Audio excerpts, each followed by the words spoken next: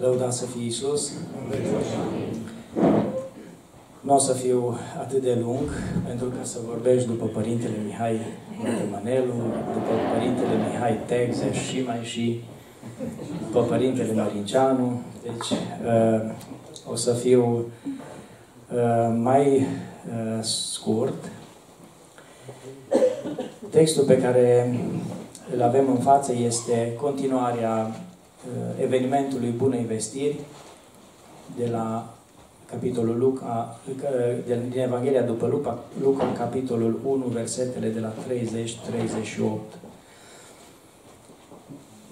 Îngerul i-a spus, nu te teme, Marie, pentru că ai aflat har la Dumnezeu.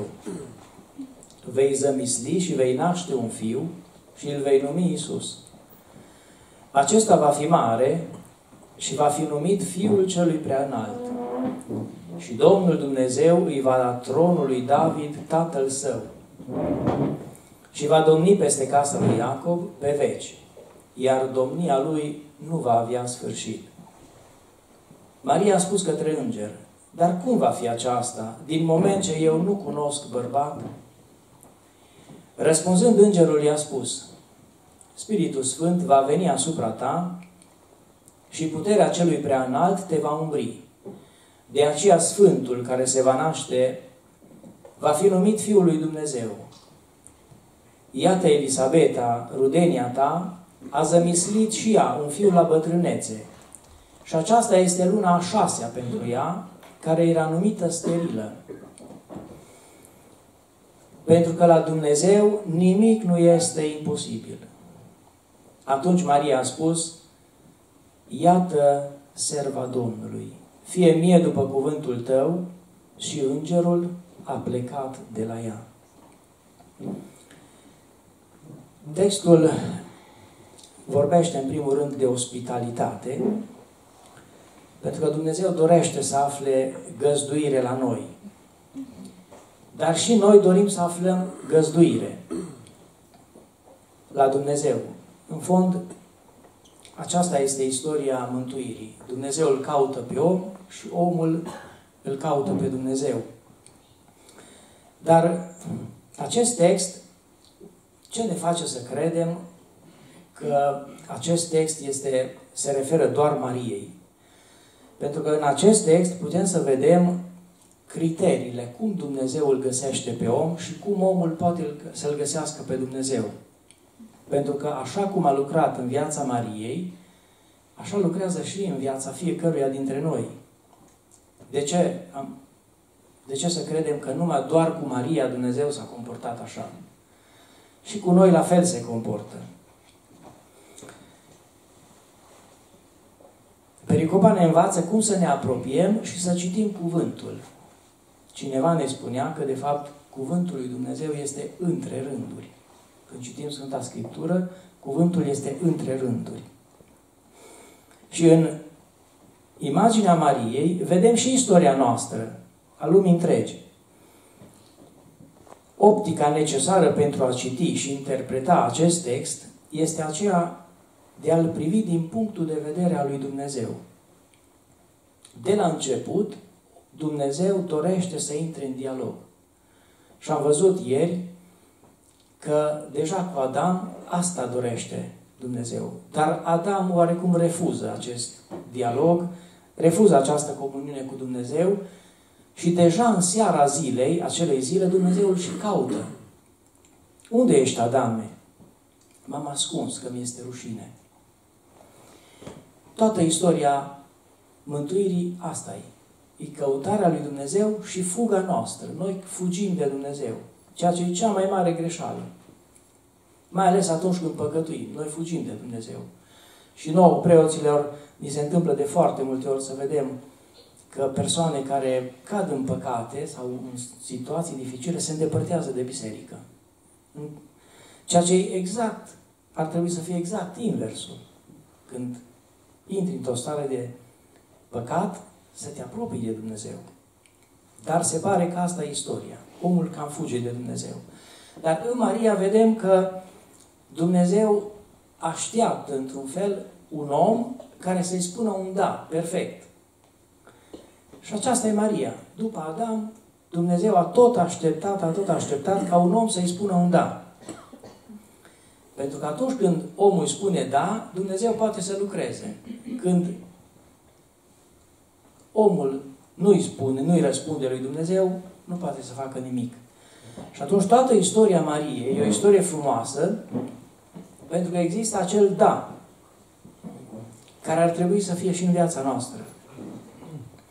Și este frumos să vedem că acest text ne spune criteriile, cum îl întâlnește Dumnezeu pe om. Și unul dintre, una dintre, unul dintre aspecte este acesta al timpului. Se zice că în luna a șasea, de când a fost zămislit Ioan Botezătorul, i-a apărut la această fecioară. Știm că numerele au o valență, mai ales în Sfânta Scriptură pentru evrei. Ziua șasea este creația neterminată, a șaptea e terminată, pentru că Dumnezeu în a șaptea zi stă și se bucură, contemplă. Și atunci te bucuri de ceea ce ai făcut. În toată această perioadă în care am pictat biserica, exact acest lucru făcea pictorul. Picta și după aceea vedeam că se retrage într-un colț și stătea și privea. Pentru că asta e ziua, munca ta împlinită, stai când te retragi un pic și contempli ce ai făcut. Și asta e și valoarea duminicii, de exemplu. Când noi ne retragem un pic și stăm și privim la ce am făcut. Atunci ne bucurăm de munca noastră și de tot, toată alergarea noastră. Dacă nu reușim să facem acest lucru, atunci oarecum lucrurile sunt neîmplinite. Și Dumnezeu are nevoie de răspunsul nostru ca să ne împlinească lucrurile, de daul Mariei. Pentru că acel timp neîmplinit, prin daul Mariei, devine un timp într-adevăr împlinit în care Dumnezeu intră și lucrează în viața ei. După aceea, textul ne mai zice de un loc, Nazaret, în Nazaret, care nu e altceva decât locul cotidian, pe Maria nu o găsește făcând lucruri extraordinare, ci făcându-și viața de zi cu zi. Și asta ne spune și nouă că Dumnezeu întotdeauna ne întâlnește în viața noastră cotidiană. Nu în alte momente extraordinare. Sau acesta e mod, modul comun în care Dumnezeu ne găsește pe noi. În muncă, în responsabilități, în dureri, în bucurii, în tot ceea ce înseamnă o viață omenească. Și atunci când Maria îi spune da, practic ea se pune în mâinile lui Dumnezeu. Acest cuvânt ne face ca și Dumnezeu. În general, cuvântul nostru comunică ceva, dar de fapt cuvântul are forță și mai mare. Pentru că cuvântul te dăruiește. Tu când vorbești cu cineva, nu îi spui doar informații, și te dăruie și pe tine. Și atunci, asta e puterea cuvântului și în mod special al lui Dumnezeu. El nu ne dă informații, El se dăruiește. Și duminica, la Sfânta Liturghie, noi avem două mese. Masa cuvântului și masa euharistică. În aceste două locuri Dumnezeu se dăruiește. Iar acest cuvânt îl modelează pe om îi dă modul de a gândi, de a dori, de a vrea, de a iubi, de a acționa, de a trăi. Apoi ascultăm cuvântul Îngerului. Ce conține? Conține un mesaj. Și Părintele Vicar l-a accentuat. Bucură-te! Evanghelia lui Luca este Evanghelia care cuprinde cele mai multe bucură-te. Acest cuvânt, bucură-te, pace, se regăsește de foarte mai multe decât în toate celelalte trei la un loc în Evanghelia lui Luca. Este numită și Evanghelia Bucuriei. Pentru că Dumnezeu când se dăruiește, asta vrea să ne dărească bucuria. Și este ceea ce noi căutăm de dimineața până seara. Să fim împliniți, să fim bucuroși, să fim în pace. Și vedem că de multe ori nu le găsim. Pentru că doar atunci când îl întâlnești pe Dumnezeu, atunci găsești și bucuria. Iar diavolul, ce vrea să ne ia? Exact lucrul ăsta, bucuria. Diavolul asta vrea să-i fure omului bucuria, pentru că atunci când îi ai bucuria, omul nu se mai bucură nici de familie, nici de munca lui, nici de absolut nimic. Și e crunt să muncești, să alergi și să nu te bucuri. E crunt, e, e nefericirea maximă. Apoi cuvântul lui Dumnezeu, zis prin înger, ne spune și numele nostru. Îi spune Mariei cea plină de har. Oare doar ei îi zice plină de har? Oare, nu, oare de ce nouă nu ne spune plină de har, plin de har? Adică tu ești cea care, în care eu mi-am pus toată bunăvoința, toată dragostea mea. Credeți, credem că Dumnezeu nu la fel se comportă și cu noi? Depinde într-adevăr de daul nostru. Și acesta e și numele nostru. Numele Mariei este cea plină de har, dar e și numele nostru. Pentru că și noi suntem la fel, cum s-a spus, fiei lui Dumnezeu. Iar dacă omul nu reușește să ajungă la iubirea lui Dumnezeu, să iasă din comuniunea cu El, să ajungă la bucuria adevărată, atunci omul caută tot felul de alte recompense. Și vedem că aceste recompense sunt foarte, te duc, ne duc în lucruri extrem de, de neîmplinitoare. Mi se pare că, nu mi-aduc aminte, dar un profet, unul dintre profeți zice, de ce mă căutați? De ce mergeți la izvoare care nu, nu vă stâmpără? De ce, adu- de ce mergeți pe cărări care nu duc nicăieri? Adică dacă nu reușim să ajungem la adevărata bucurie, o să compensăm cu alte bucurii, dar înșelătoare. Și atunci scopul nostru este să ajungem să-L primim pe Dumnezeu în timpul nostru, în timpul împlinirii, adică când eu îi spun da, în locul cotidian, acolo Dumnezeu mi se dăruiește și dacă eu îi spun da lui Dumnezeu, El știe să mă conducă către bucuria cea adevărată. Apoi Dumnezeu își spune și numele. cine e Dumnezeu? Când spui Dumnezeu este destul de abstract. Dar El zice, eu sunt cu tine. Dumnezeu este cu noi. Putem să-L găsim pe Dumnezeu în nenumărate locuri, dar El este... Nu trebuie să facem ceva, să mergem să-L căutăm, pentru că El este în noi. Și nu zadar de Iisus ne zice, când vrei să te rogi lui Dumnezeu, închide-te în cămara ta și acolo vorbește cu Dumnezeu. N-are rost să umbli în tot felul de locuri. Poți să-L găsești și Dumnezeu se manifestă, în, în, se poate manifesta într-o infinitate de moduri, dar cel mai scurt drum e în inima noastră. Și de multe ori cel mai scurt drum nu-l facem. Facem cel mai lung, dar cel mai scurt drum nu-l facem. Îngerul i-a zis, nu te teme, Marie, că ai aflat har la Dumnezeu și vei lua în pântece și vei naște fiu și se va chema Isus. Acesta e proiectul pe care Dumnezeu îl are cu fiecare dintre noi. Să aibă o casă în noi. Noi să-i construim o casă. Dar asta, asta suntem noi. Și Pavel ne zice, nu știți că voi sunteți temple ale Spiritului Sfânt? Adică nu știți că voi sunteți casa lui Dumnezeu? Din veșnicie, omul încearcă să-i facă o casă lui Dumnezeu pentru a putea trăi cu El. Să meargă să stea în casă cu Dumnezeu. Și primul mod în care Dumnezeu locuiește cu noi când îi spun da. Când încerc să-mi conformez viața după principiile Lui. Apoi, al doilea mod în care Dumnezeu intră și locuiește în mine când mă deschid și învăț să-L iubesc.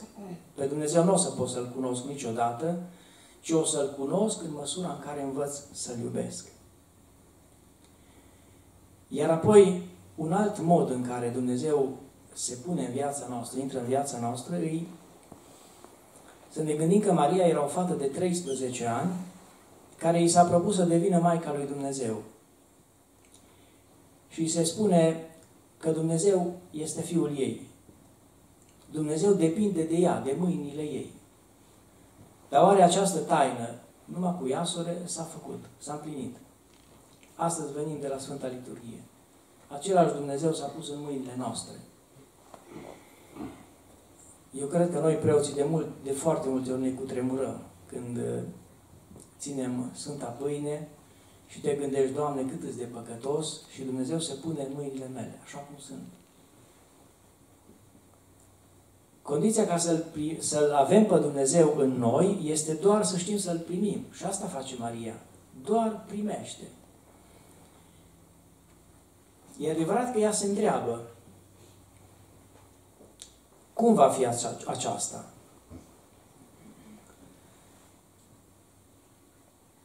Acesta va fi mare, fiul celui preanalt, se va chema și Domnul îi va da tronul lui David, părintele său, și va împărăți peste casa lui Iacob în veci și împărăția lui nu va avea sfârșit. Omul tot timpul a așteptat un Mesia. Îmi amintesc când am făcut pelerinajul în Israel, ghidul ne spunea și ne arăta, aici este, uite aici, aici este o casă a ultimului Mesia, pentru că evreii așteaptă. Și există personaje care tot timpul se propun ca Mesia, ca eliberatori, dar după aceea, după o perioadă de timp, își dau seama că de fapt nu e Mesia adevărat. Pentru că uh, Mesia nu e cel care propune o, o eliberare sau nu, nu e cel care vine cu forța, ci că e cel care vine cu dragostea. Și lucrul acesta l-a făcut Isus, dar vedeți că e mai greu să îl primim pe un astfel de Mesia și primim mult mai ușor tot felul de Mesia care promit lucruri care sunt zadarnice. Când va veni Mesia, deja din Vechiul Testament se prefigurează că va fi ca o nuntă regală, întâlnirea dintre Dumnezeu și om. Și Psalmul 85 așa zice, adevărul și mila se vor întâlni, dreptatea și pacea se vor sătura, se, se vor săruta. Îs greu de crezut aceste cuvinte, mai ales în vremurile acestea, când vedem că nici frații nu se mai acceptă și nu se mai îmbrățișează. Dar acesta e, acesta e uh, dezideratul pe care îl aduce Mesia. Și aceste vise, aceste dorințe nu sunt greșite, dar trebuie să le împlinim corect. Adică, dacă vrem o lume plină de adevăr, trebuie să fiu omul adevărului. Adevărul se împlinește numai cu ajutorul adevărului, nu cu minciună. Dacă vreau o lume plină de slujire, trebuie eu să încep să slujesc. Slujirea se împlinește prin, numai prin slujire și nu prin dominare. Dacă vreau o lume mai blândă, atunci eu trebuie să fiu blând. Dacă vreau o, luptă mai dreaptă, o lume mai dreaptă, de, se împlinește numai cu dreptate. Eu trebuie să fiu drept, să nu asupresc și să nu fac fraudă.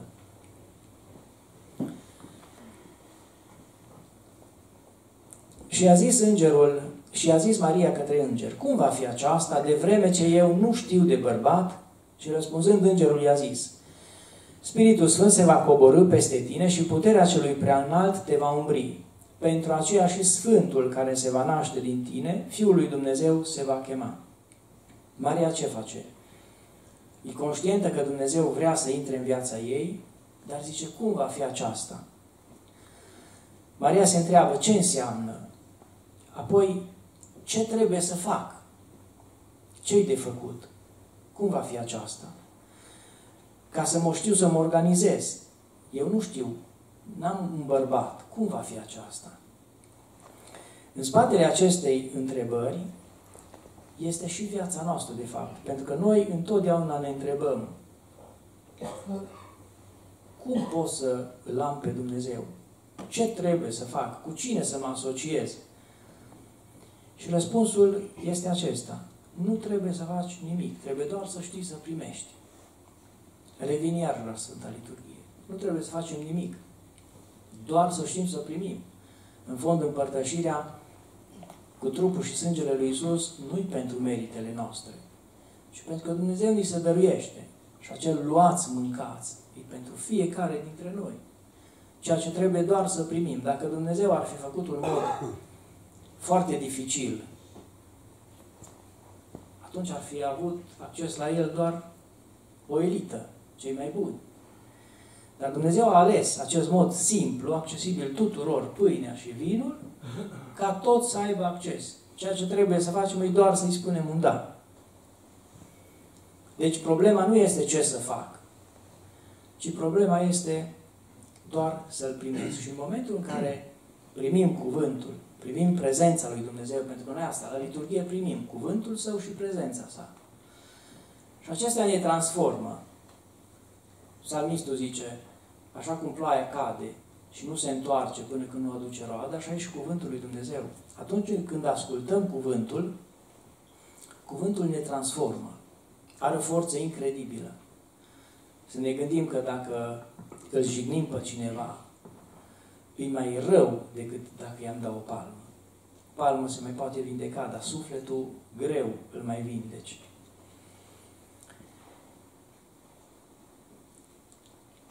Depinde de cuvântul pe care l-am în inimă. Dacă e un cuvânt adevărat, dacă e cuvântul lui Dumnezeu sau dacă e un cuvânt mincinos. Și aici, problema asta e să știm cum să punem în inimă cuvântul adevărat. Cum știu eu dacă Dumnezeu îmi vorbește astăzi mie? La fiecare ne-a dat acest loc unde putem să-L ascultăm. Care e acest loc? Acest loc este galasul conștiinței. Pentru că acolo, zicea Don Renzo, Dumnezeu ne vorbește 24 de ore din 24. Și aș vrea să vă citesc cel mai minunat text care există pe pământul acesta despre conștiință. Este unul dintre documentele Conciliului Vatican II, Gaudium et Spes, Bucurie și Speranță. Și când am făcut cursul de teologie morală, dacă îi spuneai părintelui textul acesta, erai deja trecut. Atâta o ținea enorm de mult ca să-l întipărim în inima noastră. Și vreau să vi citesc. Spunea așa, demnitatea conștiinței morale. În adâncul conștiinței, omul descoperă o lege pe care nu și-o dă el însuși, dar căruia trebuie să îi se supună și al cărui glas, chemându-l neîncetat să iubească și să facă binele și să evite răul, răsună la momentul potrivit în urechea inimii fiecăruia. Faci asta, fugi de aceasta. Căci omul are în inimă o lege scrisă de Dumnezeu. Demnitatea lui este să se supună acesteia. Și după ea va fi judecat. Deci după conștiința mea o să fiu judecat. Conștiința este nucleul cel mai tainic și sanctuarul omului unde omul se află singur cu Dumnezeu, al cărui glas îi răsună în străfunduri. Prin conștiință se face cunoscută în mod minunat acea lege în care își află împlinirea și iubirea față de Dumnezeu și de aproapele. Acolo Dumnezeu ne vorbește 24 de ore din 24 și acolo și noi putem să-i vorbim Lui și să-i dăm daul nostru. Consensul conștiinței, vocea aceasta, o înțeleg în tăcere. De aceea, vedeți, exercițiile spirituale e un mod în care ieșim un pic din lumea noastră de zi cu zi și încercăm să ne deschidem unui cuvânt și să facem un pic de tăcere. Și rugăciunile cele mai puternice sunt cele făcute în tăcere. Atunci ascult cuvântul lui Dumnezeu care mă creează și atunci cuvântul devine în mine și sămânță. La fel este și, și cuvântul mincinos. Pentru că cuvântul mincinos este la originea tuturor relelor.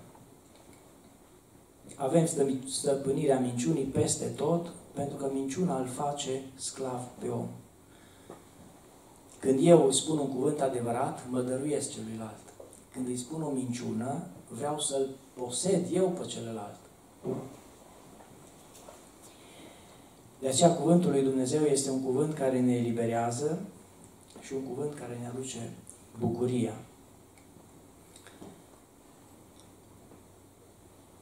Nu noi suntem cei care producem cuvântul, ci cuvântul ne generează și ne modelează.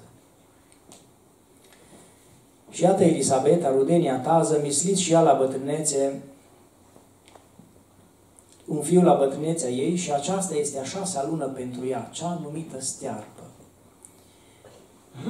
Dumnezeu întotdeauna știe să dăruiască un viitor atunci când lucrurile par imposibile. Dar, la fel, și Elisabeta se deschide către planul lui Dumnezeu, ca și Maria. Și asta e soluția și pentru noi. Când lucrurile par imposibile, trebuie să ne deschidem față de Dumnezeu și atunci o să veți și descoperim puterea Lui. Și a zis Maria, iată serva Domnului, fie mie după cuvântul tău. Și îngerul a plecat de la ea. Maria este prima persoană care îi spune da. Adam, când, a mers, când Dumnezeu a mers să-l caute, îi zice, unde ești? M-am ascuns că mi este frică.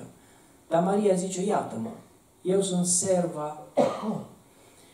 Cuvântul acesta nouă nu ne prea place, dar dacă îl înțelegem, o să ne placă. Dacă o să servul este cel care îi aparține celuilalt. Și atunci Maria, cam așa îi spune, Doamne, iată-mă, eu vreau să-ți aparțin. Sclavul aparține celuilalt și este un cuvânt frumos care indică un anume nume. Când Pavel indică libertatea, subliniază că libertatea constă în a fi servitori unii altora în iubire, în scrisoarea către Galatei. Apoi îngerul pleacă de la ea. Unde pleacă? Se spune că a intrat și a plecat. Pentru a-și împlini misiunea. A vestit și apoi a plecat. Și care este misiunea sa? Misiunea sa este descrisă în acest text. Îngerul vine să vestească cuvântul lui Dumnezeu și același înger este aici cu noi și ne transmite același cuvânt nou. De ce ceea ce s-a întâmplat atunci nu înseamnă că nu se întâmplă și astăzi. La fel. La fel lucrează Dumnezeu. Pentru că Dumnezeu este cuvânt. Și dacă noi îi spunem da, la fel ca Maria, acest cuvânt se întrupează în viața noastră. Îngerul îi vestește Mariei și Maria devine la rândul ei înger, pentru că vestește. Cum știm lucrul acesta? De unde a știut Luca, Luca să relateze toate lucrurile astea? Pentru că Luca e discipol al lui Pavel. E, deci nu l-a cunoscut direct pe Isus. De la Maria, răspunzând da cuvântului, ea a oferit trup cuvântului și astfel poate să-l vestească. Maria însă își devine înger, Luca, auzind povestea Mariei, ne-o povestește și el, nouă astăzi. Și Luca devine iarăși înger. Pentru că și el a știut să spună da cuvântului, l-a primit și l-a transmis. Această povestire pe care noi o ascultăm acum ne prezintă aceeași propunere a lui Dumnezeu și face la fel, la fel pentru fiecare text al Scripturii. Așteptând daul nostru, astfel încât să devenim și noi ca Maria, ca și Israel care primește promisiunea, ca și biserica, mireasa lui Mesia, și astfel încât Domnul să fie prezent în mijlocul nostru cu puterea sa de eliberare.